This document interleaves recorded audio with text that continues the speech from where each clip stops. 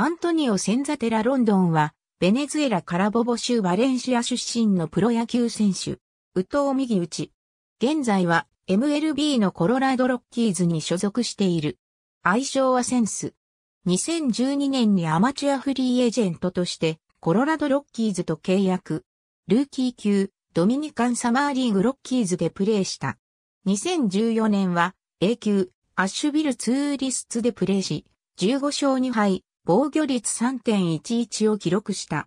2015年シーズン終了後、40人枠に追加された。2016年は AA 級ハートフォードヤードゴーツでプレーした。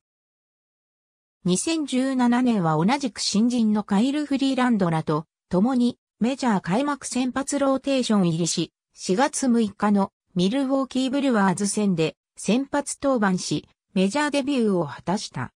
4月に5試合に先発登板し、3勝1敗、防御率2.81を記録し、ナショナルリーグのルーキーオブザマンスに選出された。